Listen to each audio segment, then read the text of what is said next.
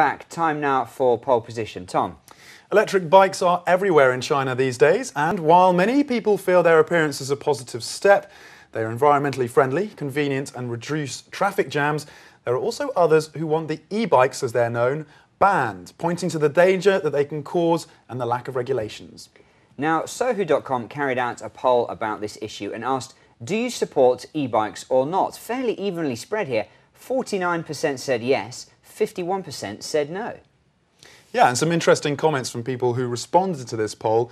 One person saying they thought cars should be banned rather than e-bikes because it's cars that are the top air polluters. Yeah. Uh, someone else saying, pointing out that e-bikes are very quiet, and I've experienced this. You're walking along a road and you you just don't hear them, and they no. whiz past you. Yeah. So you have to Often be go in the careful. wrong direction as yeah. you get upstream against traffic. So, step off the uh, off the sidewalk into the road. Certainly and, not rare brush bit of a brushback. Yeah. yeah. So they're saying e-bikes have a, no noise and their speed is hard to limit.